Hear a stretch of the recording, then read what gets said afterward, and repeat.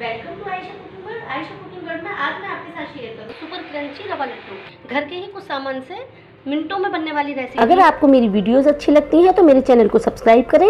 Video miss ना हो इसके लिए बेल आइकन प्रेस करें। लाइक एंड शेयर करना ना भूलें। तो रवा लड्डू बनाने के लिए ये चार टेबल स्पून देसी घी लिया है।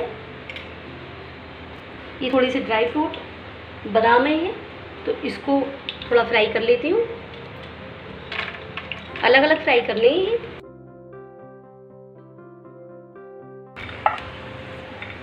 ये काजू।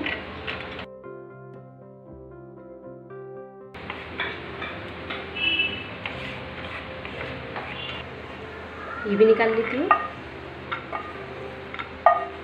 किशमिश।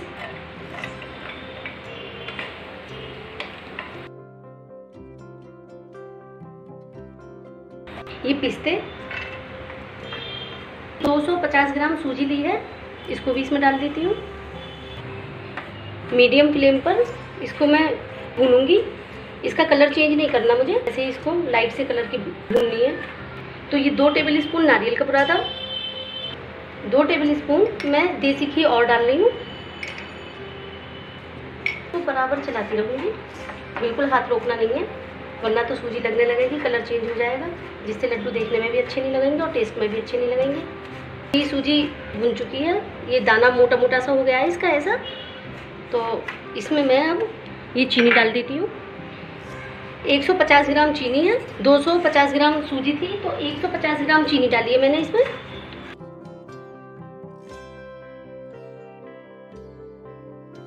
दो टेबल स्पून मलाई और दूध मिक्स हुआ हुआ है ये।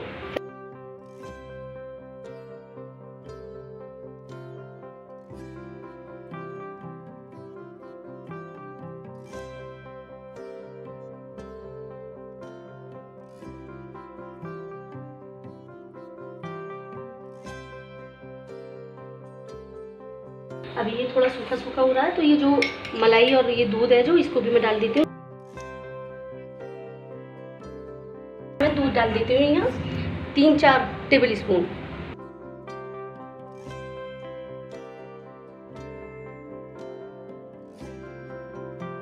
पूरा आधा कप दूध डला है इसमें।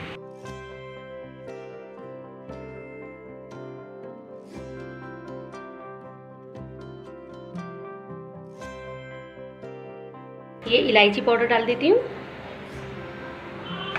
आप चाहें तो केवड़ा ऐसे डाल दें। जो भी फ्लेवर आपको अच्छा लगता हो, वो डाल दें। स्वीट में इलायची पाउडर की अच्छी खुशबू रहती है। और ये ड्राई फ्रूट भी इसके अंदर डाल देती हूँ।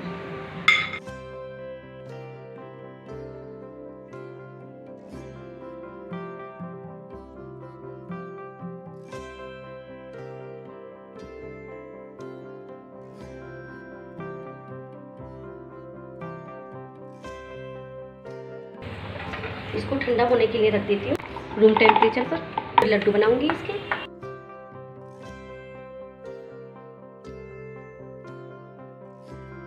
तो ये ठंडा हो चुका है। मैं इसके लड्डू बना लेती हूँ।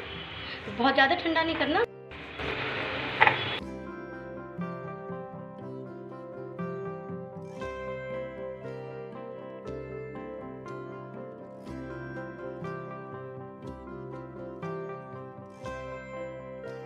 बनकर तैयार है। तो मिलती हूँ एक और रेसिपी के साथ। अल्लाह हाफिज़।